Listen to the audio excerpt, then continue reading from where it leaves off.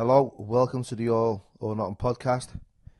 Our official sponsors are KR Couriers and Transport Limited. This is a northwest based courier company delivering all across the UK.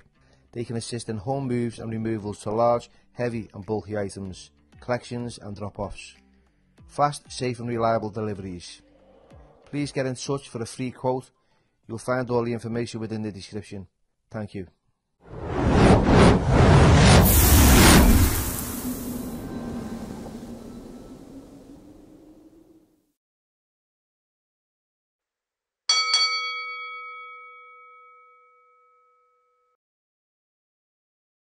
Hello, everybody, and welcome to the Billy Moore podcast. And today's special guest is Sicarius McGrath. How are you, my mate? All right. Right, so former gangbanger, now we're in Manchester. What happened? Tell us a little bit about yourself. Um, from an early age, 15, I was involved in petty crime. Then 21, about 2001 maybe, uh, ended up getting involved in firearms, and then it just escalated from there. From that, I was involved in running and management of brothels and most types of crime. So, what happened? What, what contributed to your, your life sort of going down I that path?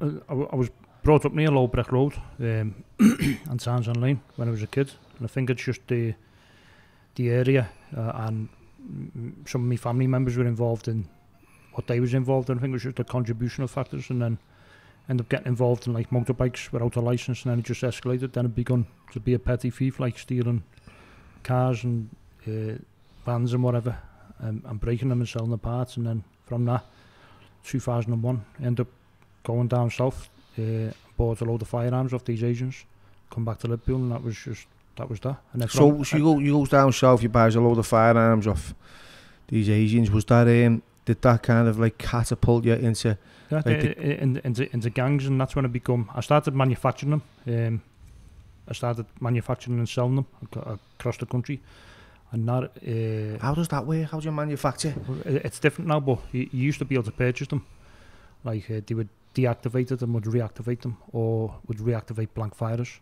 So, for example, you go to a shop, you buy blank fire for about seventy quid, eighty quid, uh, and you just replace the barrel, and then you you'd you'd, manu- you'd make ammunition.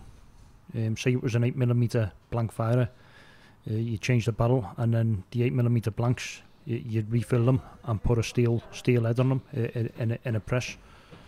So you know it, it, it went f- it went from it went fr- it, Yeah, It- it- uh, thanks. it went fr- it went from one one thing to another, and it, it escalated. And from 2001 onwards, I was involved in firearms until I ended up going to prison in 2004.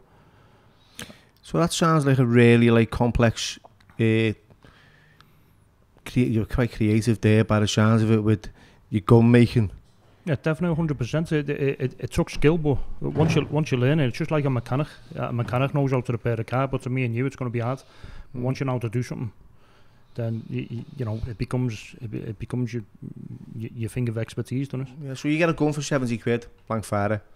Yeah. You're um, replace the barrel, make the ammunition, uh, and then we used to s- I used to sell them on from like three fifty upwards, but we would do like ten at a time, five at a time, stuff like that. So it was very rarely someone would come for one. It was always people who'd come and purchase them in bulk, and then they'd sell them individually for, for more money. Some of some of them used to sell them on for like fifteen hundred quid. yeah. But but at the time, back in two thousand and one, um, two thousand and two, firearms were a lot cheaper than what they are in the current in the current day in the current market. You know what I mean? And they- Yeah. I think they were a lot easier to source back then because not as many people used them. They, they were they were quite rare. You didn't really get 2001. You didn't really get the young gangs in Liverpool running around with them. You get the odd shooting at, at the older generation. So out about two thousand and one. So what, what, what was that? You know, what age was you then? You were I think it was 20, 21. so a young kid, Yeah. just You- bouncing about Breck Road. Yeah, everywhere, but it, it was um, I was getting bullied off these doormen in town. Yeah, they was They took a car off me and used to fucking me. So that's why I got in. That's why I originally purchased the firearm. So Dorman in, in the Liverpool was- city centre. Liverpool City Centre. Yeah, there was there's a big family of them.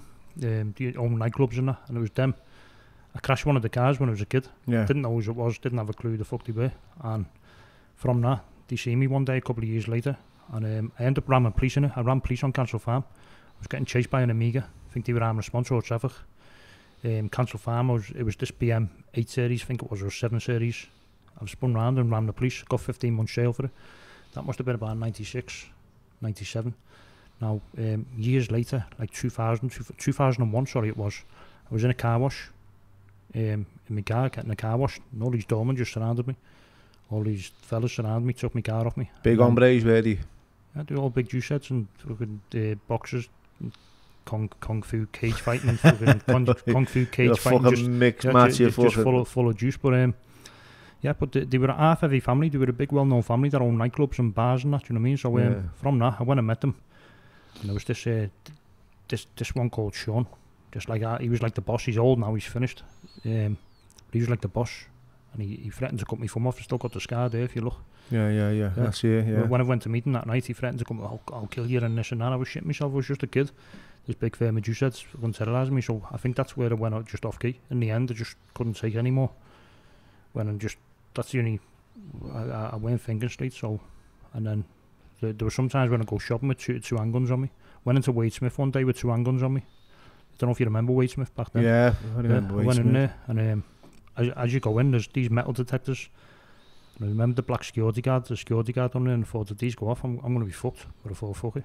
But I, I didn't really. Was you paranoid? Was you was you was you vigilant?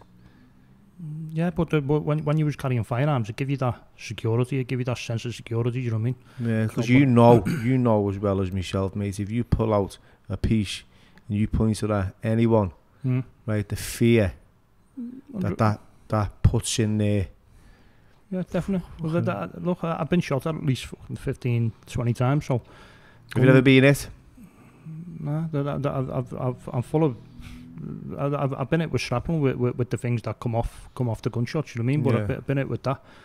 But you know, it's one it didn't used to fear me. It, I was getting shot at every week in Liverpool. It didn't. It didn't.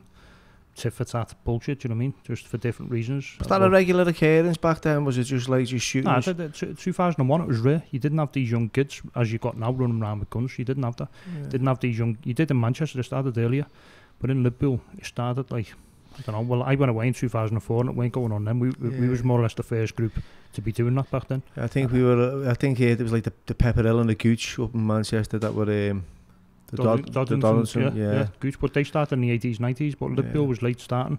But don't get me wrong, Liverpool have caught up. There's some dangerous, dangerous kids there, and there's no dispute about that. But when I went away in 2004 for the guns and the shooting, you, you didn't get all these kids running around, flying around with guns. You didn't get it. So you went away for you went you went away for guns and shooting. Manufacturing, um, they found a loaded one next to my bed. I think it was a Beretta or something. And uh, I shot some soldier in uh, Birkenhead. Because I, I was meeting some girl at the time from Birkenhead. and um, come out one day, half asleep. And these three lads put it on me, saying you scouts couldn't get off our estate, just talking shit. So, so I had to say, look, just give it a miss. My tyre was stabbed on my car. I had some old shitty rammer, some big Rover 600 or something. Um, my tyre was stabbed. And then he started just wanting to do kung fu in the streets. One of them had some little fucking Swiss Army knife.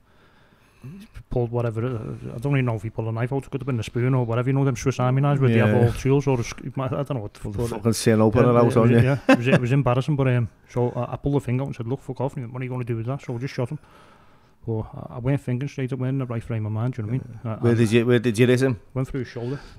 But uh, yeah, I, when, when I was in jail for that, the girl who was meeting at the time, mm. End up the lad who was shot was called Gareth. But I made up with him after that. I spoke to him and said, "Look, when I was in jail, I've rang him because the girl I was with at the time ended up meeting him and getting with him in a relationship.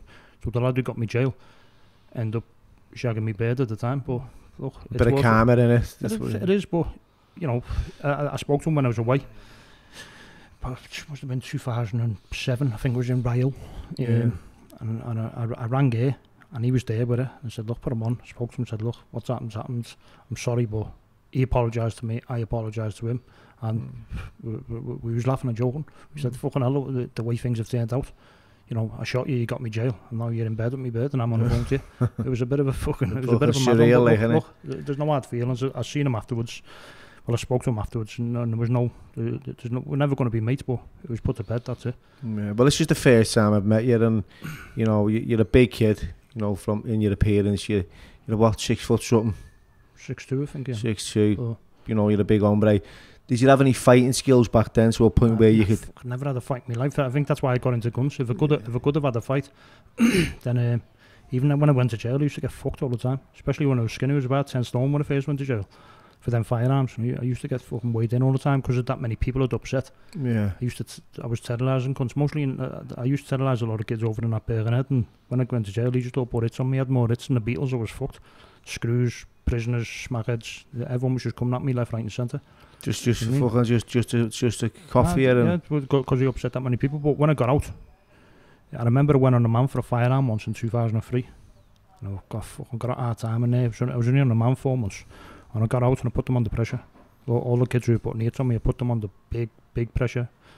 And you know, I'm not going to say the names. I don't want to embarrass them, but uh, they were from Birkenhead and back, back then, 2003. They were heavy kids over there. They could, they were like the main They weren't into guns. They were just fighters. You know what I mean? So But- it's almost 20 years ago now, isn't it? yeah, it is 20 years ago, but I remember in 2014 I seen one of them, some big baldy juice head cunt, and um, I pulled up next to him, I was with these foreign kids, and I was, said, how are you, mate? Do you know what I mean? And, and it, it, it, obviously it put, put, him on the back foot, but look, I've got, I've got no... I've got no issues with them. I've- I've seen people since, and it's water over ducks back. Bygones be bygones. You can't hold grudges forever, and I think they feel the same. Yeah. Did you have any, um, was you financially motivated? Was it, you know, obviously you, you've got a gun factory, you know, you're involved in brothels. Yeah, obviously, but it was all at different periods. My gun factory wa- wa- wa- was 2001 to, to 2004, and uh, but I, I was making all right money off my work, making great money. I was making d- decent dough off them, but at the time. But another thing we used to do was rob people's Rolexes, watches. Do you know what I mean? So um, we'd wait for drug dealers. I know it's a scum. Listen, looking back on it now, it was uh, it was a scummy crime. I, I was a, I was a piece of shit. There's no doubt about that. But we- we'd wait by their house, and when they come in, I'd just run up and put a gun to them and take the watch. You know what I mean? So it was that type of, and I used to get all type of firms from Liverpool ringing me saying, "Give the watch back." I'd say, "Fuck." You know what I mean? Because when you, I, I, don't get me wrong, if they would have seen me and never had nothing on me, they would have weighed me in. Because some of them were heavy, heavy fellas, big, big fellas in the city. But um, a lot of them were from Anfield. But uh, yeah, they, they. So you just pull up on them. Yeah, just pull up on them, creep, creep up on them. I remember the one in Anfield that we done, the very first one I done. He was in a golf.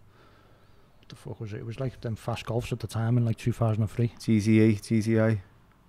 Nah, eh? it was- Doesn't really matter. It's a Can't even remember. It was yeah. a decent golf anyway. He was like he was like a bit of a boy in Anfield, and he, he just give fucking. I think he gave 25, 20 something quid for a watch, all diamonds, caked in diamonds. I was waiting outside his house for nights. I was with this bird, just waiting for nights and nights. And then he pulled up one night, caught him, creeped up, put the thing to him. Said, "Give me your watch." Took his watch. Did you have a Um, bally on? Nah, the fuck, just on a bare face. it, that, that, every time I attack someone, I, I was a comfort section drug dealers, and every time I attack someone, not once did they have my face covered, not once. But a lot of the stuff I got the blame for, it weren't me. Yeah. Do you know what I mean? Because I, used to, um, 2009 onwards, I was mixing with a lot of black kids and Asian kids down south, Yeah. and sometimes would bring them in to, to, to tax people. And so every time a black firm attacked someone or an Asian firm, I'd get the blame for it. I remember Frenchie was on Anfield, the devil. Fucking, uh, he was on Anfield one day and I got a phone call, what's Frenchie doing around here? I said, what the fuck do I know? He said, well, uh, you bring them round here. I said, well, just because he's black, mate, doesn't mean I fucking, just because I, it, it's bollocks, but everyone used to, a lot of the shit I got to blame for, I never even done. Have you had any dealings with uh, Stephen French? I spoke to him. uh, I I wouldn't. I, we're not mates. We're not. I've got no issue with the guy. He, he, he does what he does, and Yeah. you know, he, he seems he seems an intelligent fella. Do you know what I mean? So everyone says he's this, he's that, but look, everyone says anything. People are quick to make assumptions about people. Do you know what I mean? Yeah. Are you a grass? Look, it depends. It depends what you define as a grasp. But let me start from when I was a criminal. No, I, I, I. I, I used to get shot at every every other week or every week, should I say. I've been stabbed. I've been fucking, you know, there's many, many attacks on me and many attempt attacks, and it was a tit for tat, and not once was there anyone in jail because of me. But, you know, now I've changed my ways, and if he had trouble, I'd, I'd go through the correct procedure. I'd go to court and, and I'd go, I'd go to the police. That's the way it is, uh, and, and there's no dispute about that. Now, people say that's a grass, but well, so be it. I'm a grass. Uh, it is what it is. But I, I'm not interested in people's criminality. Uh, It's not like I'm one of them on the phone to crime stoppers or we, he's doing fraud or he's doing. I couldn't give a shit what people do. It's none of my business. I don't mix with these people. So I'm not here to inform the police of what's going on. I couldn't. I, I couldn't give two shits of what's going on. But a grass to me is a criminal that informs on his fellow criminals. If you're a legit nine to five, if you're a legit person, then If you're a productive Yeah. member of society, Exactly. Yeah. That, that's what the police are there for. Now, if you go and beat up a lollipop man or a traffic warden, you're expecting to ring the police because he's a normal 9 to 5 type of guy. Or you beat someone up who works in McDonald's, they're going to ring the police. So if it's the criminal, so in the criminal fraternity, for example, you're saying like, so you've got a co-accused, right? You're in court. The police you with a few questions. Mm. You've give them a little bit of information that'll kind of make your sentence a little bit lenient, lenient, and extend this that much. So would you class that as a crash? Hundred percent it is. Yeah. Uh, and and there was a rumor years ago when I was a kid when I got nicked into the gun factory that I blew me two, two codees up. Let me just clarify this, and and this is fact. They got nicked before me, months before me, and they give guns were recovered with my fingerprints on that they said were never recovered. Do you know what I mean? So when I got interviewed, this is the facts of the case. I couldn't give a shit. If I grassed them up, I'd say yeah, I did. Yeah, but they put me in. Do you know what I mean? And when I got interviewed, I said, hang on. I said, I, I went to look at to purchase this in St. Domingo Vale off whatever. He, he's give the firearm in. Do you know what I mean? So they put me in. I, I weren't on the police radar. I was just low key. They put me in. They put an operation on me. The police were watching me, firing guns in Croxteth Woods. And they put the operation on me. They got nicked three months before me, put my name in, and sent their cousin over to my stash in Birkenhead where it, where it was my, had the guns. He said, I want a gun. He's come over. Um, he said he needed it because he had shit with someone or whatever, or he wanted to buy it. I can't remember. But he's come over to Birkenhead, this gaffing, this place in Grangemount. And then he went, oh, I'm all right now. That was to get me address where it was. And then I've given that to the police. He put an operation on me and the police come through my door, fucking heavy armed police. Uh, so if I grassed them up, I'd say yeah, but I generally never. I was a kid, I was about 20, 21. I think when I got, no, I was a bit older, I was 23 when I got nicked with them. Um, I got four and a half years for one gun. They got five and a half for 30 firearms. Combined, they got nicked with 30 guns. One got five and a half, the other one got a six. Yeah. So, you know, it demonstrates who put who in. And me, and me last case, what I got, 2016, me code D, who's the main fella, some Asian fella, he got less than me. I got longer than him. I got eight and a half, he got seven. Yeah, I read a few of the comments on um, on somewhere I can't remember, and it was talking about you. You know, it stated that you were put in prison in 2017 for eight and a half years, and you were released in 2020. Mm. And the comment section was all about he must be a snitch, he must be a grass. How can he go to prison in 2017, get out in 2020? Now, I obviously I know. Yeah. I, I was thinking to myself straight away, is this kid being on remand prior to that? uh, look, I went away in April 2016. Yeah, I got sentenced in. I was on trial for three months. Um, I got sentenced on December 2016, the 14th, and I got out in July 2020. So I served four year, three months. I went away in April 2016 and got out in July 2020. Two days you're after So sentence. I got eight, eight and a half years. I served the full half.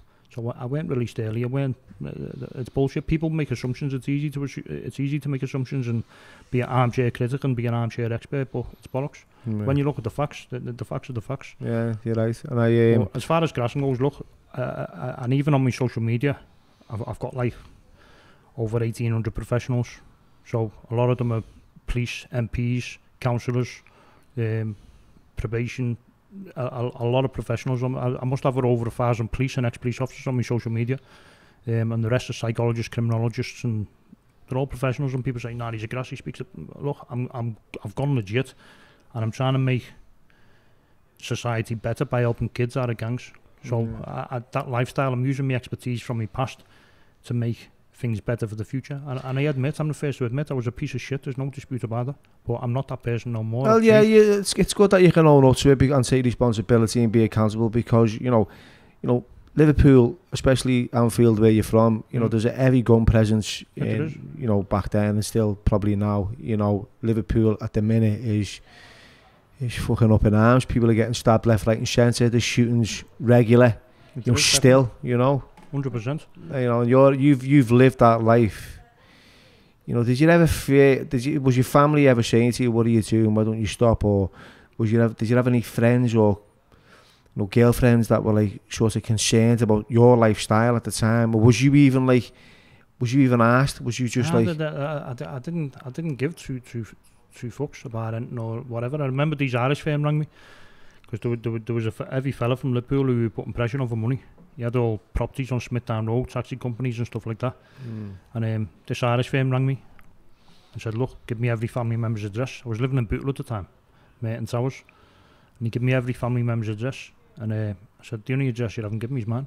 And so we carried on putting pressure on them. They, they, they, they, they end up giving us uh, five or ten grand. They, I met them at Chilwell Five Ways. And they end up speaking to me. Another fellow called, some black fellow from the South End called Mark heavy, heavy hmm. fella. You probably know who he is, but I don't want to say his name on this, but mm. he, was, he was part of them black firm in the 80s, 90s, the, the heavy ones, you know what I mean? And we were putting pressure on some other kid, he, he got in touch with me and went, look, I'll, I'll, I'll, come, I'll come to your house. I said, mate, you don't know where to live. And he went to this other lad's house who was mates with, and the lad shitting himself, ring me saying, mate, leave it. I said, fuck. I said, we're in that game, we've just got to face it. And that Mark ended up becoming, I wouldn't say he become my friend, but at Christmas he come and dropped like 15 ton off for me, so we ended up becoming yeah, I'd- say we did become friends to some degree. Do you know what I mean? But he was a heavy fella from the South End. So, So we had some respect you by the yeah, sounds they of did, it. yeah. because I, I was adamant. Even though I was a piece of shit, I stuck my ground, and especially on the phone, I'd say, "No, that's not happening." If you would, if don't get me wrong, if you would have got hold of me and I had not on me, I would have shit myself. It's one of them. But he was a heavy dude. But least you can admit, well, at least yeah, you admit that, I'm not know, one of these people says, oh, from an our case. A, B, and C. I, I don't portray myself to be an hard case. Don't get me wrong, because of my size. Now, now I'd probably fucking do your average divvying, but, you know, I'm, I'm a fighter, no, far from it. Do you know what I mean? So, and, and that's why I used to resort to firearms and uh, and whatever we used to resort to. Do you know what I mean? But a lot of people, even though I'm disliked in Liverpool, I'm hated. A, a lot of people still, well, I wouldn't say a lot. There are some people that still have that respect for me because of how I was, you know, and we were taxing grafters. So a lot of drug dealers, like me, even when I was last away, to say, "Nah, you scum, mate. You used to rob drug dealers." But what you've got to understand. And these are kids on the lands and that was shouting at when you were away. Nah, they, they used to speak to me. They, they, they, even some of the kids from Norris Green who we never used to like. We bygones people. I, I spoke to them in jail, and they were decent kids. There was a, there was some one of the main kids from Norris Green. I, spoke, I met him in jail, and I spoke to him, and you know what? He, he was a decent lad. I, I, I liked him.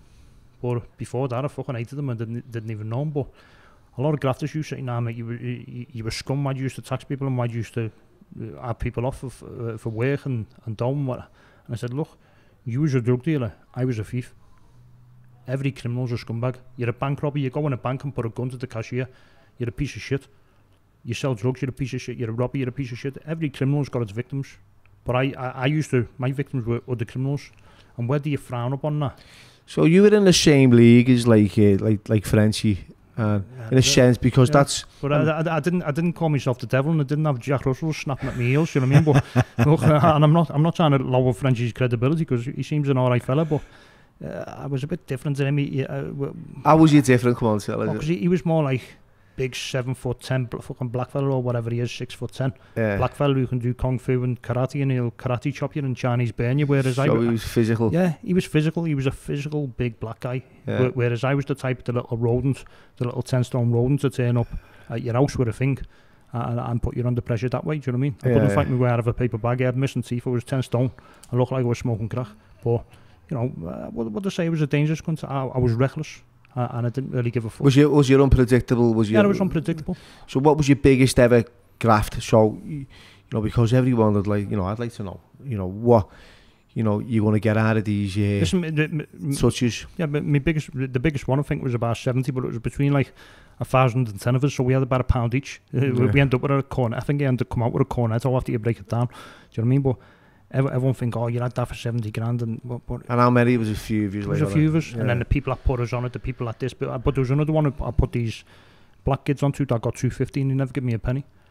But uh, it is what it is. Do you know what I mean? So So you're putting people onto graft and you're Yeah, getting the- bumped on the. On, Nah, the- the- the- it was. I put these black kids who, who, who were half, who were half heavy kids.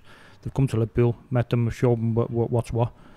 But one of the lads he brought, some baldy black fella, has backdoored me and backdoored them because we went and met these blackheads. We we we went and met them in um, where the I don't want to say where they're from. Do you know what I mean? But when we went and met them, they all turned up apart from this baldy one, and they never turned up with nothing on them. So if they would have had the money, they would have turned up with things because they were keen. They were keen bastards. They were game as fuck, proper gangbangers. Mm. And he turned up with nothing. He were genuine kids. As, as seen it. But this baldy one, this baldy cunt, backdoored them and backdoored me. Listen, it was years and years ago. It was like fucking many, many, many years ago. But they had 250 off the fella they gripped. And uh, I never got a penny. The 70 that we had, I think, was around 70.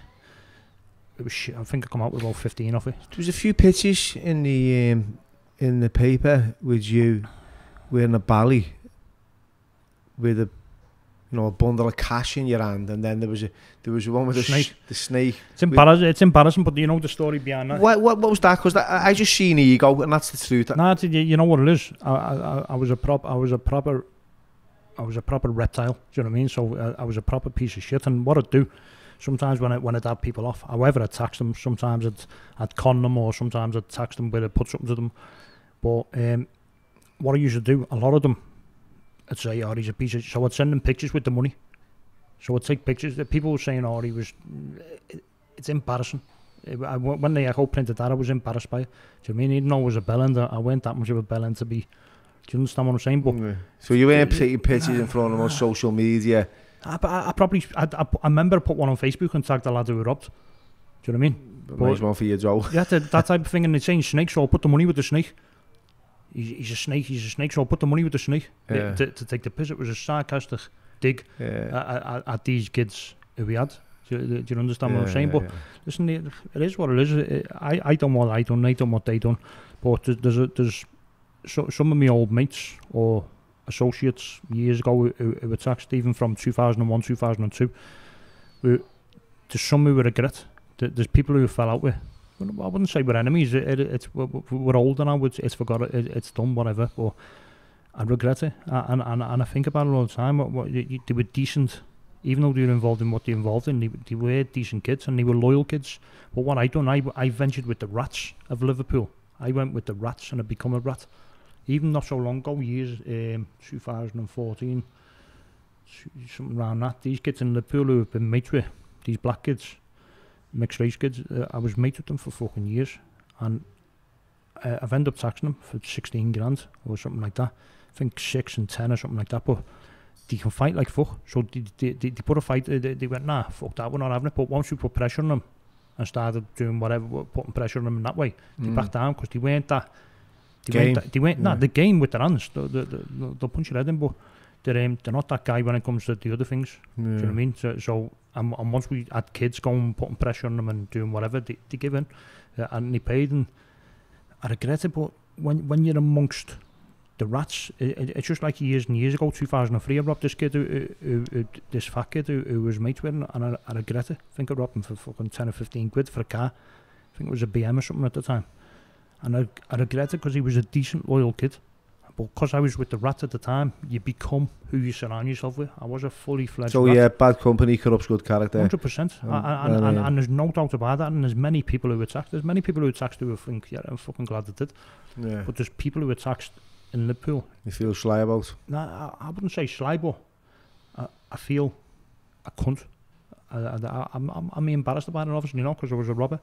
But before that, before I got involved with these rats, I, I went that, I went that type So how, of how many gang members were they?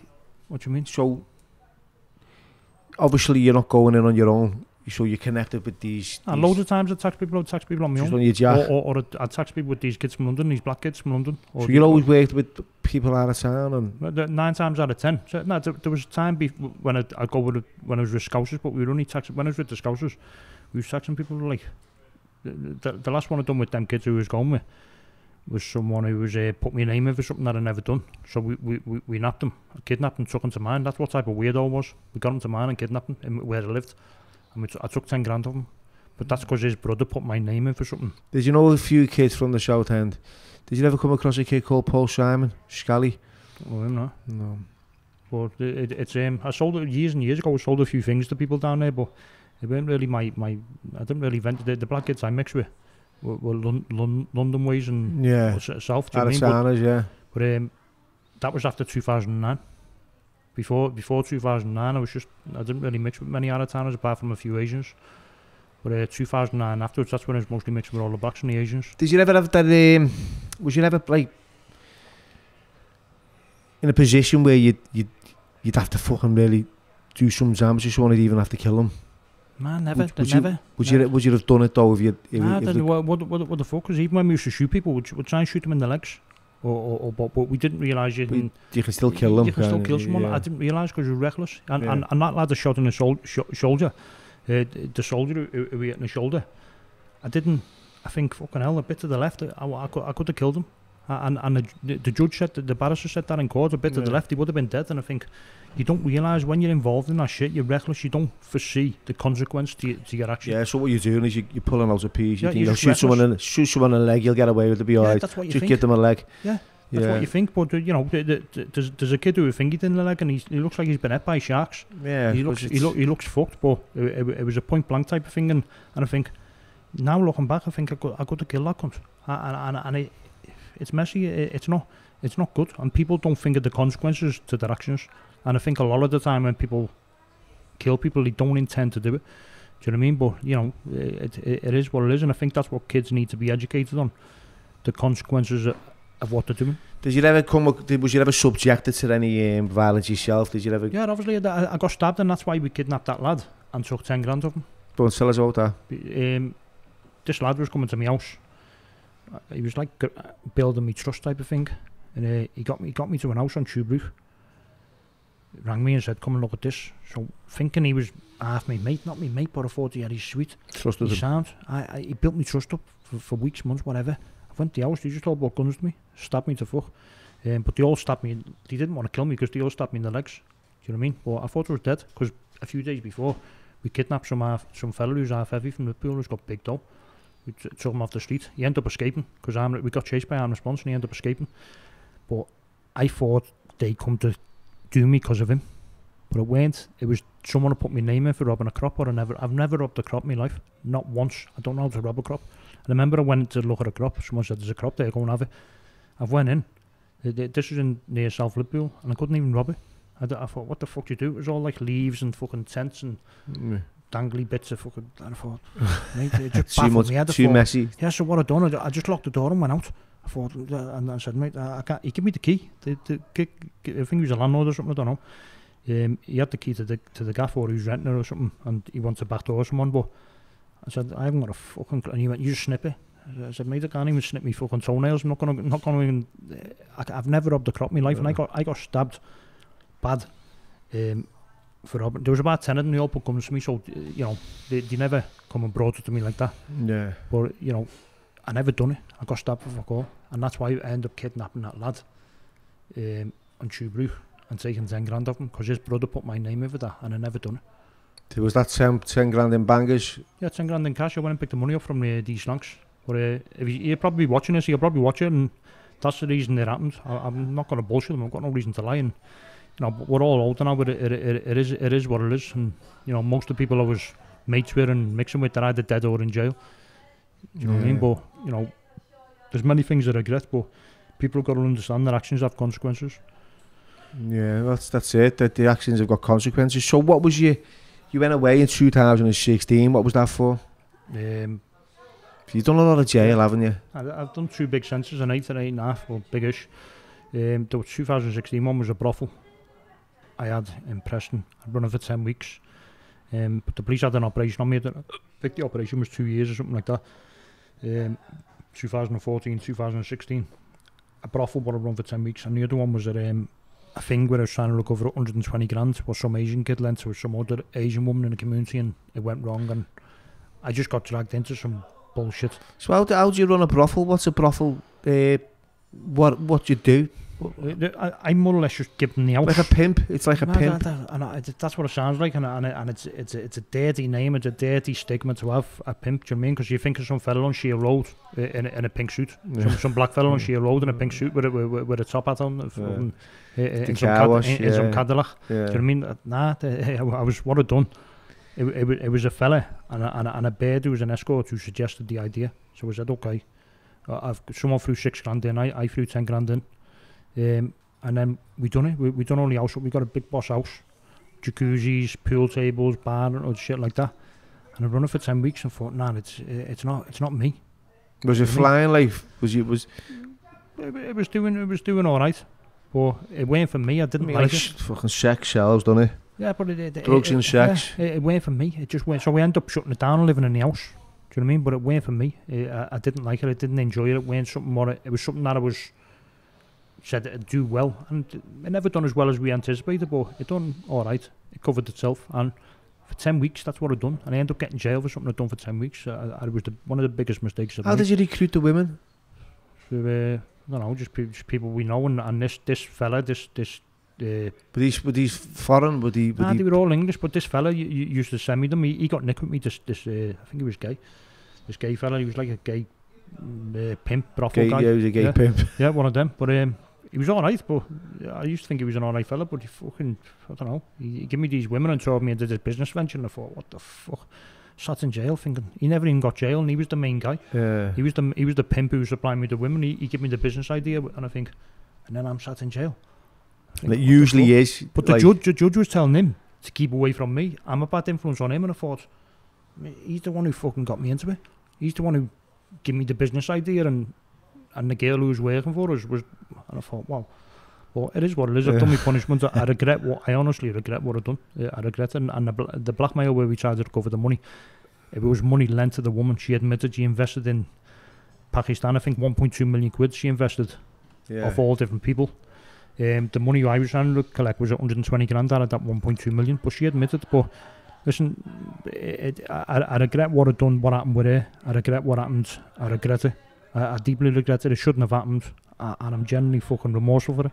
Do you know what I mean? Whether people believe me or not, I am. I've got no reason to lie. yeah. I, I, I regret what I've done. So you shaved out your sentence. You've got like eight and a half years. You got that in 2016. is this the turning point in your life? Is this like you're thinking to yourself? Because I know, right? Hmm. I know when I'm sitting in a fucking shell and I'm reflecting and I'm thinking to myself, you know, this can't go any go on any longer. I can't live this way of life. I've had enough. And then I'm looking around and I think I'm getting a little bit older, and I want to start like being a benefit to the community. Yeah, obviously, but it, it was, you know what, believe it or not, it was, it was a programme that was televised in 2017 about an incident in Liverpool. Don't really want to say what, but a, a young kid was shot. So that was Little Boy Blue. Mm, yeah, it, Yeah, it was- 'cause that's- I, I, that's- I, I didn't really want to mention it because I feel a bit of a cunt mention it, but um, that was the, the turning point in my life, and I thought, you know what, what the, what the fuck am I even entangled up in? So uh, this is this is big. This to- because so you've been involved in in gun manufacturing, pulling out pieces, shooting, firing firearms off, and you know reckless. You've admitted all reckless, this. I, I wouldn't say it was dangerous. It was reckless. So you, you you've admitted, you know, and you've you took ownership of this. So it, it could have been. You could have been in that situation where you pulled out a firearm and done the exactly. exact same and, thing. And I always think about Wade Smith when he had the two guns on me. And I thought if I would have seen them I would have just been pulling out the of them like some fucking John Wayne kamikaze and just letting off. Mm. And I think that could have been... And do you think they knew that you were packing? Who? The doorman. Yeah. I was putting pressure on, on, on the mates over the water. I was putting pressure on these other doormans who, uh, who were connected to them. So but they had an idea. Yeah, they had an idea, but the, the, the young one, the young son, who, who, whose dad owned the clubs and uncle owned the clubs, he was, he was a game cunt. Yeah, there was an instance in Wadesmith with him where two big doormen, two big heavy kids who own a security firm have had a run in with him, and he stood his ground, so he's a game, he, he's game. He weren't just a divvy doorman who, who just all beat you up and arm wrestle you. He was a game bastard, he had mm. balls. Yeah. And, and, and I was scared, that's why I went and fucking armed myself up. Do you know what I mean? So I'm not afraid to say, oh, yeah, he's a divvy. And I, Yeah. I, I don't work like that. He weren't a divvy. The, the kid was game. He had balls, yeah. uh, and that was that. And so what? So this this this television program that's documentation of this young boy getting killed in Liverpool by a gun has kind of sort of hit home for you, hasn't it? Yeah, I just thought, what am, what, am I even, even though when involved in that directly, I, I, used to speak to Mercer. I weren't my mate, but I spoke to him a couple of times when he's in Strangeways, and I, I, Is this- is this yeah, the- Mercer, he- the kid who done it, and Yeah. he, I, I used to think that it was just a mistake. It's one, of- I didn't see the severity of what the fuck he'd done until I watched that program, and when you're seeing the, man, it was heavy. It Did was you heavy. ever speak to him about, you know, did he ever speak to you about the, that case? Yeah, obviously he was speaking about the case, and Did he have regrets? Did, did he feel? Look, I, I only he can say whether he's remorseful. I Yeah. can't speak on his behalf, and Fair enough. you know, I, I don't particularly like him for what he's done, but he might he might be remorseful, and it's not for me to sit here and say he's not remorseful or he is. I don't know. I can't speak Yeah. for him. And but nah, it was bad. Uh, it was heavy, and, and people ought to give be mindful of that. The kid was a fucking kid. He, he, he was a victim. He was a he was a kid. He weren't involved in that shit. He, he weren't. Uh, uh, and, and when you watch that documentary, it, it's heavy. Uh, the- and, and I think that was the turning point. I thought, nah, fuck this. So Ritter Is was that the one with Stephen Graham? who played the role of the police officer? I don't know. I couldn't tell you or not. It was Little Boy Blue, but I don't. I don't even it know. was, yeah, yeah. But um, yeah, I, I wrote to the fam to the charity connected to the family, and they've sent it to something else, and they've and then someone replied back to me, and from there, I've ne- I've never turned back. I've been adamant on developing this program. I've got it developed now. We just need to implement it. Uh, I've got to run it. Uh, Tell us about that. Tell us about what you do now in the community because you, you know, you you do, you, you know, you're reformed. Hundred percent. You want to do a lot of positive things now in the community. You want to benefit. Yeah. What, what, what I want to do, I want to get the kids out of gangs, out of knife crime, and out of fucking all the shit they're entangled up in because there are there are no winners on it. And I know I know kids down south and, and across the country were doing 30s, 35s, and every one of them would, if they if someone went to them today and said, look, we- we'll let you out of jail, go and work in McDonald's for the rest of your life, they'd jump at that chance. And these kids are thinking, no, it's it's embarrassing to work in McDonald's and you're, you're, you're a divvy if you work in... But all these heavy kids who were doing big jug, big jail, big sentences, they would 100% get out and turn their lives around rather than be sat in jail because they're sat in jail for 35 years, you know, wanking 365 days a year or doing whatever they're doing, lending tuna and noodles off the neighbour. Yeah. It's it's degrading and, and, and you've got no mates in that world. The gangbangers don't have no friends and when you go to jail they don't look after you. So then you start relying on your great auntie and your and your nan for post loaders. It's fucking it's degrading. I've seen it many times. Heavy kids go And jail. then you get addicted to that spice. Yeah, that, that, that, that, that's another thing. But most of the kids I know aren't on that, but they, they, they, they, um, they're still relying on people for post loaders. The mates are nowhere to be seen. Do you know what I mean? So they're skint, they're sat in jail, skint doing a 35. Yeah. And then they end up, their enemies from the rival gangs end up in jail with them. And then the next thing, they're all speaking. So what was the point in all what the fuck happened, in all the murders, in all the big sentences getting given out, in all the, you know, in all the victims of, of the cases? What, what, was- what, for what? What, Yeah. what was at the end of it? You're fighting over a postcode. It's not even your postcode. It's the fucking. It's the Queen's postcode. yeah. I- it's bullshit. I- I- it's absolute bollocks. So the program we're doing, I want to implement. Um, is it's diverting kids out of gangs and it's getting them into alternative activities. And then it, it's it's doing there's practical work and classroom work, and the program lasts for three months. Yeah. So we need to pilot that in order to get funding. It's 12 grand to pilot. So I'm trying to raise the funds to pilot that. Obviously, it's got to be legit. There's one or two people who've approached me and said, "Look, I can get you the I can get you the money to fund it, but I can't. It's got to be squeaky clean." You know, as tempting as it may be, because I just want the program implemented. It's got to be squeaky clean. It's got to be. I've got to account for everything. My my, my accounts. Are mo- it's not just because of that. I don't want to do anything dodgy money anyway. But my accounts are monitored by the police. That's another thing. I'm on the strictest, some of the strictest conditions in the country on And it. that's down to terrorism kind of stuff, isn't it? Can you tell us a I- little bit I about think- that? Well, well, It was it- the Islamic kind Yeah. of. it, it, it was. I I honestly believe that it was influenced by the terrorists who I was supposed to be affiliated to. Now, Al Qaeda, ISIS, wha- wha- whatever it may be. Now, different terror groups. Now, I believe that's why I'm on these conditions. But it's not. It's there's something called a TPIM, terror prevention uh, investigating, whatever it is. But I'm not on that order. The order I'm on is a SCPO, Serious Crime Prevention Order. But I can't use internet unless I notify the police. Um, I, I'm not allowed to use payphones. I can't go on internet cafes. I'm fucking. I'm barred out of the whole of Lancashire, the county of Lancashire. I'm barred out of Southport. I'm not, uh, I don't even know what the fucking barred out of Southport for. but even getting to Liverpool, even though I'm not barred out of Liverpool, even to try and do the interview with you was an headache. Because so we're here in Manchester at, Yeah. at the minute because we did have a plan twice in Liverpool, correct, and, yeah, and you got the stoppers put on it. yeah, to, uh, uh, effectively, yeah. But but but it went. Listen, I, I, I could have went said, "Nah, I'm gone," but. Eh, wh- Why, you know, eh, if they're not happy with it, I, I don't want to go against what they're Yeah. saying. Do you understand what I'm saying? So but you, Lang- you, you conforming now to. Yeah, they, they, listen, you've you, you've got to, and I, and I, I don't want to. I, I want to demonstrate change. I want to show them that look, I've changed, and I'm happy to comply with the rules. I'm, at- the SCPO, hmm. I don't think there's anyone.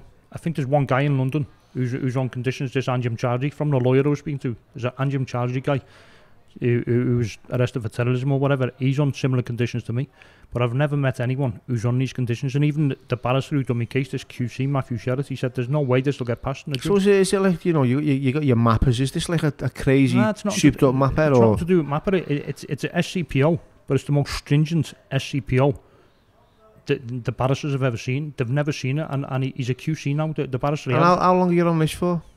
Five years, but it's it's nothing to do with probation or prison. It, it's a civil order passed by a criminal court. Do you know what I mean? So if you breach it, you get five years And this jail. is due. Is this due to like their thoughts that you were affiliated with Al Qaeda and ISIS? I, and, I, I honestly believe it was influenced by the. the, the, the I- I've, I've been alleged to be, I wouldn't say connected, but affiliated to, to terrorists and, uh, and and so on. Do you know what I mean? So and terrorist groups. Now, I believe that order, and my barristers believe this order was. I, I can't say definitively, and I'm not going to suggest this. I'm not making allegations or accusations against anyone. Yeah. But my legal team believe that that influenced the implementation and the severity of the order. I think if weren't uh, said to be affiliated to terrorism or terrorists, then I still would have got an order, but it wouldn't have been nowhere as severe. Mm. And and do I think the authorities were wrong to pass the order? No, I think it was fully justified, and, and I can't really. I'm not criticising the authorities, I'm not criticising the courts for passing it because I think it was justified because I was I was a fucking nuisance, and the people who was connected with, it, knowingly or not knowingly. I'm not saying I knew they were all terrorists and, I- and I I engaged them for that. So sometimes you don't know people are terrorists. Do you understand? I'm just speaking hypothetically here, so Yeah. I, I- don't want everyone thinking, oh, I'm- I'm a terrorist sympathiser or whatever. That's not the case, but a lot of people I was mixing with uh, did turn out to be something what I didn't know. Yeah. Effectively, do you know what I mean? That's the world you're in. Yeah, it is, yeah, it's the world you're in. But uh, what, what doesn't look good to me is years before, uh, I, I was involved with Al Qaeda people and, uh, you know, uh, so- what, what, Did you change your religion by any chance, or was that Look, uh, I- I'm, I'm alleged as well? Nah, look, it, it's alleged. Was you a Muslim? Was you this? Was you? Look, what, what? I believe in God. I, I'm. Am I religious? I believe in God. That's as far as. Mm, I, I, So you've got a you've got a Yeah. belief. I, I believe in God. That, that, that's that. I, Yeah. I, I'm- I, I, I fear God, and that, and that's you know that's as far as I go. And people ask me all the time, "Are you Muslim? Are you this? Are you that? Are you, are you, are you Jewish?" Or listen, it's irrelevant as to what I am. So yeah, because you changed your name to Sakairis. Yeah, Yeah, I like it. the- That fucking It, name. it, it, that's actually like Jewish. It's got Jewish heritage. Um, But it's- it's- Sa- Sakaris, yeah. The, the, Sicarius, the, yeah. re- the reason the papers have changed that, and I know people say, "Oh, it means hitman." That's bollocks. Assassin. That's Yeah, what it's bullshit. It Uh, uh, that's because the the. Sicarius is Yeah, but uh, if you look at the original meaning of it, it was Jewish as Sakaris, but the Colombians distorted it. It's just bollocks, and it means spider as well, African spider. And in all the reports that they done, and he went, "Oh, it means assassin," but they never said once it means spider. It, it, it, it's what suits their narrative, and um, yeah, the, the the the reason I changed that, part of the reason was to facilitate my criminality because I I set up numerous companies and I didn't want the business people I was mixing with because I went half legit, even though I was still involved in organised crime. I went legit. I went running around with guns. I weren't involved. In, you get what I'm saying? So I couldn't have business people when I was going on business meetings googling me and going, "I'm gone. You, you you've been away for shooting a soldier and manufacturing guns." So that was the reason. You know, McGrath is is a name.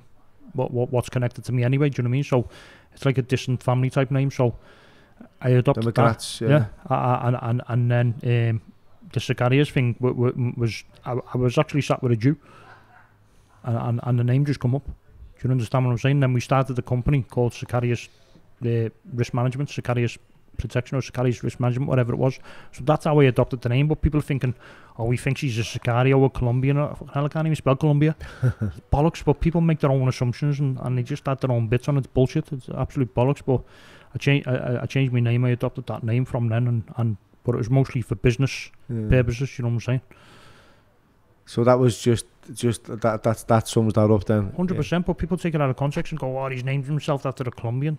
Bollocks! Oh. Absolute bullshit. Crock of shit. But that's that's clear. That so now today, you know, I, I know a lot of people who watch YouTube or these podcasts and see reformed criminals, mm. right, on a platform, and their initial response is, "Oh, everyone's doing that. Everyone's fucking wants to be a podcaster. Everyone wants to tell a story. Everyone who's who's done this, but you've got to you've got to have a real positive kind of motive to change, You've and got, your to, you've agenda's got to be yeah, through. you've, So got to, you've got to have passion. And what I'm saying is, yeah, I'm not criticising other people who change, but what I'm saying, you, you get. why do you want to change? I know you said it's because of you know you you kind of hit home, but it's like. What you want to achieve in the outcomes in the long Uh, run? You want to get this pilot program yeah, going, uh, and is it in Manchester that you're starting it? Uh, it's in the northwest, yeah, but Yeah. it's 12 grand to run a pilot for three months. And once we've piloted it, then we can get funding from local and central governments and, and other private invest, uh, other sponsors and so on. But look, You're taking this into schools, colleges, Yeah, it- universities. it- it- it's going to be it's to be in the community, but we also going to be doing talks in prisons and schools and colleges and so on. But that that's separate. But as I say, going back to the offenders who who who, who, who say they've changed, I'm not s- going to identify anyone specifically, but they're preaching anti-knife crime, anti-this, anti-that. But on the same side, they, they're also doing videos saying, I'm going to beat this up. It's bollocks. You're either one or the other. You're on one side of the fence or the other. And yeah, I'm there's a lot, so you, you come across a lot of people who. um, 100%. yeah. Say they've changed, but they haven't changed. They've changed a little bit, but they haven't changed as much as they ought to. But I'm definitive They saying- changed to to what suits them. to what suits them. But Yeah. but they're still aggressive. They're still hostile. And they're still right. I'm, Com- com- I'm I'm com- I'm coming to yours, and I'm going to do your in and out. Well, wait outside, mate. You haven't changed. That's bullshit. But I'm saying, hundred percent, I've changed. There's no doubt about that. And no matter people are going to criticise me. People will criticise you for having me on and say he's a grass, he's a police informer, he's a terrorist, he's a fucking bollocks, mate. The, the people. people are quick to make assumptions and, yeah. and stigma and attach to other people, but look what it was. Oh, yeah, I, well, I, only a host. I'm but just yeah, I've just I've just got a platform mm. and I'm bringing an audience. Uh, Definitely, but what I'm saying is, I'm admitting audience's I a, view. I, am admitting I was a piece of shit. There's no doubt about that. I was just I was a fucking absolute scumbag. I had the models of a you know, I had the models of a rat. So I never had no morals. In fact, I was scum. So what you how do you see yourself today? I mean, uh, would you would you class yourself as a scumbag today or a I'm, rat? I'm, I'm, I'm, I'm far from it because one, I'm helping people in the community uh, and I'm doing what what I voluntary helping people as much as I can. Parents, you know, victims of crime, pe- Yeah. people, even people in prisons. I'm, I'm helping. There's a lot of people who are sat in prison whose families have rang me for advice and said, "Look, we, we need help with this. We need it- mostly prison matters, like getting them to Cat Ds or stuff like that." And, and, and I put them in touch with top lawyers, or I'll help them, or I'll, I'll, try and speak on their behalf, and, and so on, so on. And you know, so I'm, I'm helping people in all different walks of life.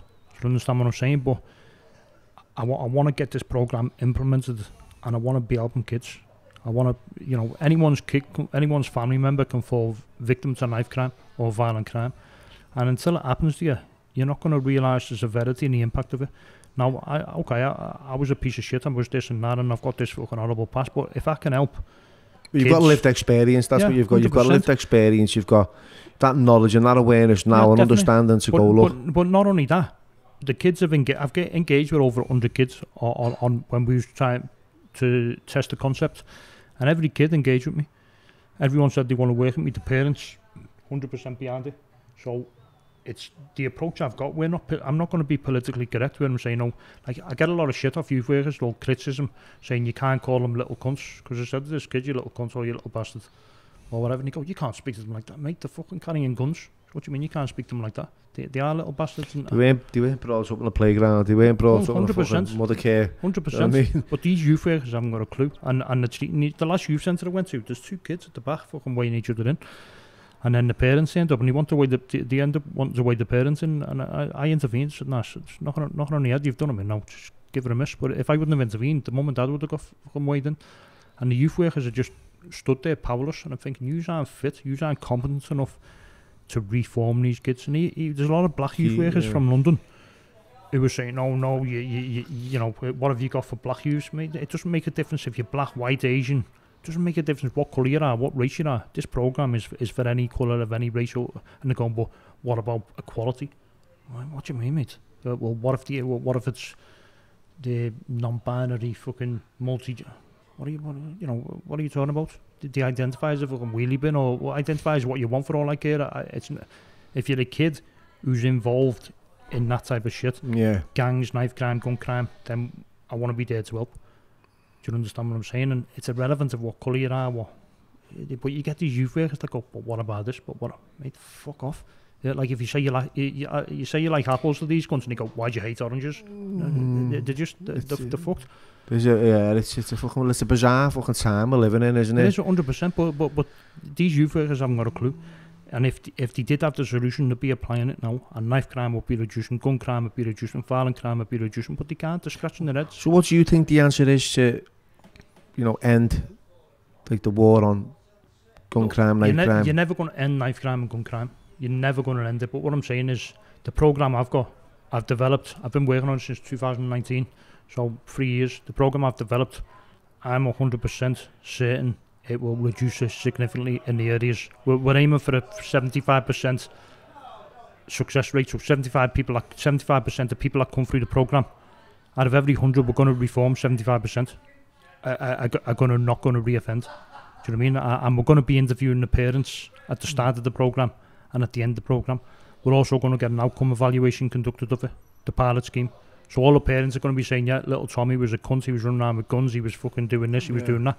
And then that's first interview, the end interview, they're going to be saying, little Tommy's in in a work placement and, and, and he doesn't no longer mix with these and he doesn't do what he's doing, he's not getting brought on by the police. So that's one way we're going to demonstrate success. And the other way, we've got someone to do an independent evaluation on the outcome of it, uh, how successful our approach is in doing so. And, and look, I, I'm a, I'm, I'm, I wouldn't say I'm intelligent, but I know what's going to work and, and I put aspects of it into practice. When I used to get kids into, into gangs or recruit them or whatever you want to describe it as, I'm using similar methods to that and similar methods what the Al Qaeda use with me. I'm using in this rehabilitation rehabilitation program. It doesn't mean I'm going to be fucking recruiting them into terrorism, but it, I'm using similar methods that were used. I know, I know, It- I know how easy it is, mate. What, what it is, look, to get these kids into gangs, it's manipulation. To get them out of gangs, it's manipulation.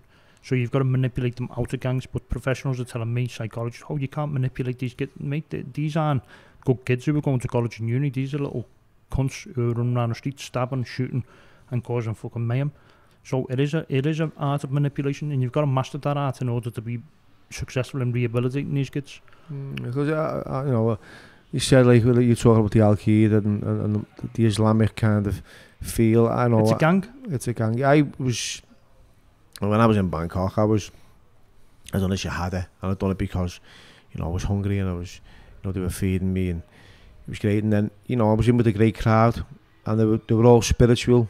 There was Mm. unity collectively as a um, as a group. We were we, we were we felt supported. There was not once by the people that I was like around at that time trying to influence me influence me into doing anything um, that was like sort of borderline terrorism until I met this one guy was from Iran that was saying, you know, would it be would a fight like uh, would it go and become you know I know what you're saying, but The he, jihad. Yeah, he would have likely been Shia, Shia, Shia, the mostly Shia in, in Iran. But look, in 2007, the holy war. He Yeah. wanted to start get start, start to encourage me to start getting involved. Yeah, I know what you're saying. What the fuck? it, it, it happened Big occasion that you want me to go and fight Yeah, on the front that. line? No, not happening. It, it, Not it, happening. it, it happened to me, but what I'm saying is the, the, the Muslims in the prison system, most of the high security prisons are run by the Muslims. And I'm not criticising them for that because they, they, they've got unity, they've got solidarity, they've got respect for each other. Uh, uh, these, they're the brothers to one another. It's a fame, innit? Yeah, do you understand what? But the brothers, and, and it's loyal, and they'll stand shoulder to shoulder with each other, and and that's what society lacks. I'm not saying everyone become a terrorist, and everyone. I'm not saying that, but I'm I'm, I'm applying principles from different parts of my life. And So like a family orientated group. Yeah, y- y- So you've gone from a gang to a group of uh, people that can kind Al of converse. is a gang, yeah. But what I'm saying is, we need to apply particular principles in communities in, where there's cohesion amongst people in communities, and you stand shoulder to shoulder. Yeah. Now, you don't have to be a terrorist to do that. You, you can apply the same principle in a community. You can apply the Yeah. same. You Well, know, I, I always say, you know, if you put what you did into your using of drugs, and you put that plan of action into like a business mind, Hundred percent, just like a drug dealer. The, the, the, the bus- a drug dealing is a business. yeah. You know, so crime is a business. You know, many crimes is a business. So if you, if you apply, it's transferable skill, and the skills I've got from my criminality, and whether it was being groomed by Al Qaeda or gangs or wha- whatever it may be, I'm transferring those skills and that knowledge and that expertise into getting kids out of gangs and saving them. And long term, people will be grateful for it. It will Mm. work, hundred percent. There's no Mm. doubt about it. There's nothing on offer like like what I'm doing in the country. And once it's implemented, the pilot, then uh, I anticipate we're going to be getting funded and we're going to No, expand. and I wish you well on that, and I hope people who out there, maybe there's someone out there who's watching this that might be kind of interested in supporting that. There's, a a, there's a lot of people watching. There's a lot of police and ex-police officers. There's a lot of psychologists, criminologists. There's a lot of other organisations, youth organisations that want to see. I've had meetings with many of them, and, and they say, look, we want to see this pilot if it works. Yeah. If it does, we're interested. it might not people for all I know it might not work. So that's why they don't want to put the names to it now. Well, that's but, what they want to do. So yeah, I'm, but I'm confident it will work, hundred yeah. percent. There's no doubt about that. Well, that's that's good. I'm glad you're confident in that. I, and I wouldn't e, even on my Twitter account. Uh, I, I wouldn't be screaming from the rooftops that I've got the solution. Yeah. And then it fails because I'd look an absolute cunt. Do you understand yeah. what I'm saying? And the scrutiny I'm under you know, the, the monitoring and the management that I'm under at the moment, I, I'm not in a position to fail.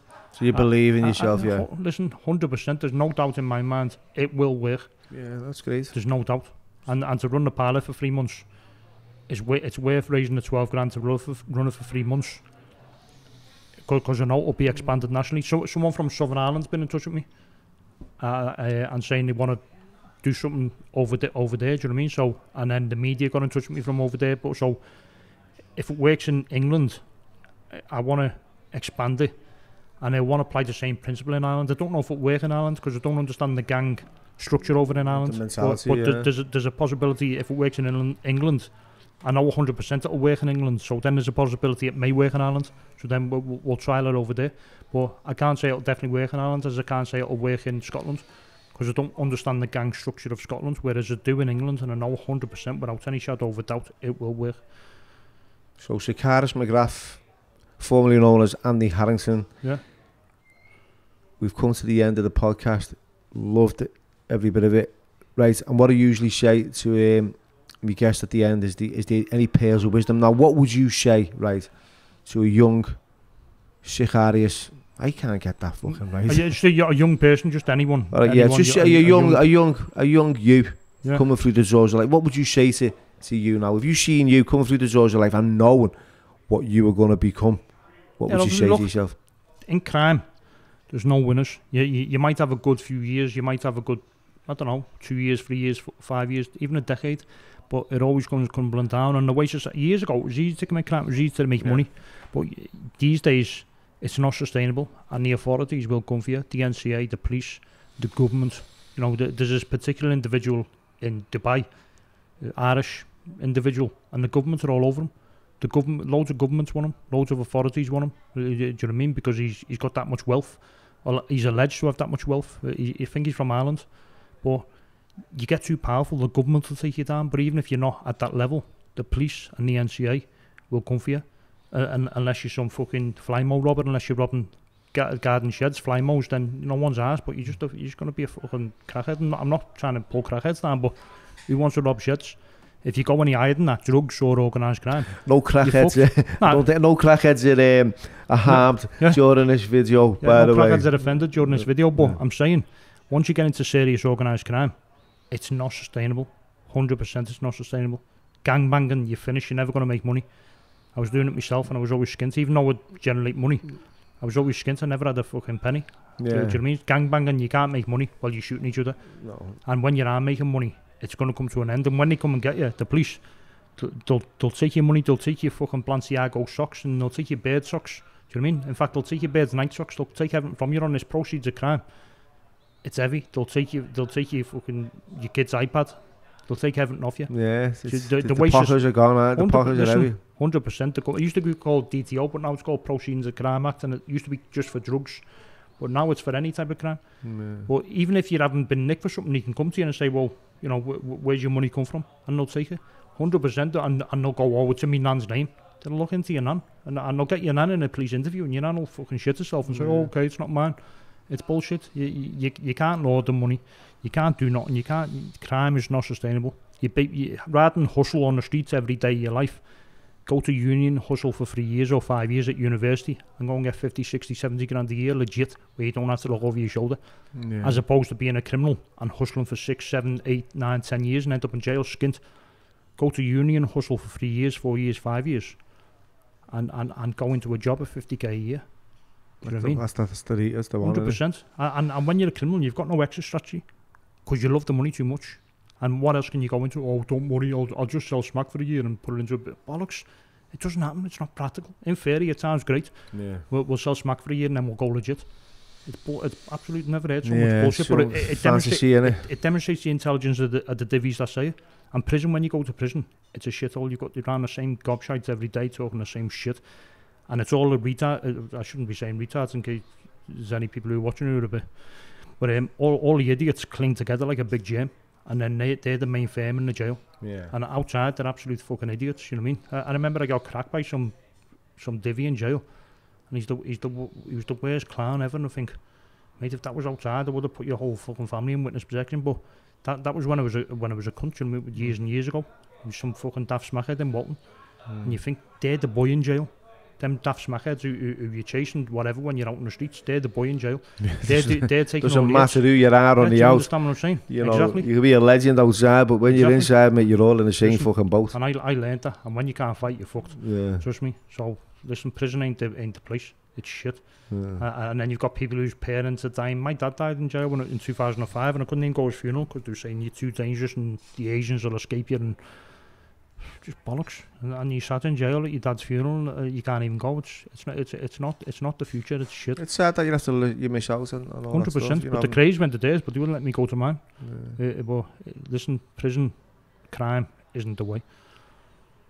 Yeah, okay, brilliant. And with that, I wish you all the best, mate. Thank right, you Chad. very much. Well, if there's anyone that's sensible that wants to come on board with this program, I know about my passion. I know people will be skeptical, but it's 100% genuine and, and you know and I'll put all your information within the description yeah. so if anyone wants to get in touch with you on Twitter what other accounts have you got yeah it's, it's mostly my Twitter or my email yeah so I'll yeah, be I'll put your Twitter, Twitter and your email mm. account but there's a company what's going to be running the program Do you know what I mean? So the, the company's going to be managing the program, it's going to be managing the pilot. Send me that, send me that link, yeah. and then I'll put all, all that information within the description. And and hopefully um, you can get you up and running Yeah, and get this pilot working. Mm, and and the critics, the people who are going to criticise me, say grass this, what look, you know, have you've got nothing better uh, and nothing better to say, Yeah, you know what I mean?